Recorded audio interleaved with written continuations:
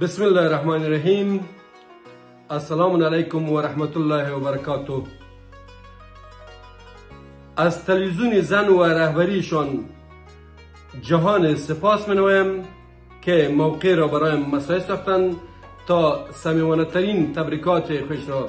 با مناسبت عید سید فطر به تمامی مسلمانان جهان بخصوص هموطنان شرافتمند خوش تقدیم نمایم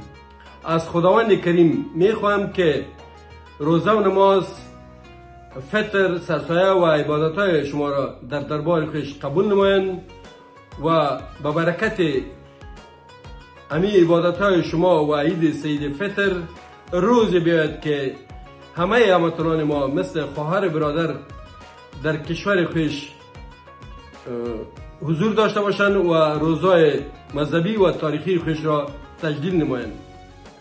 آره هموطنان عزیز. ما شاید هستیم که نیم قرن می‌گذارد هموطنان ما روزای خوشی را بسیار کمی دیدن. جنگ ها و تجاوز ها بالای مردم و کشور ما صورت گرفت.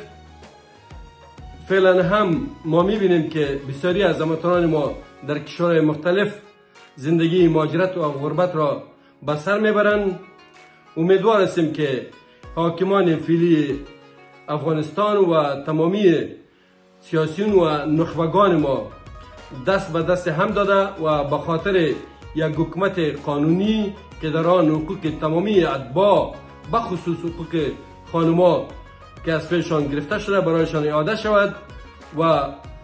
به مثل دیگر کشورهای جهان که مردمشان کوشش می نماید به خاطر پیشرفت و آبادی کشور خودش کار نمایند ما افغان هم دست به دست هم داده و خدمت مردم و یک کشور ویران ما را نمایم.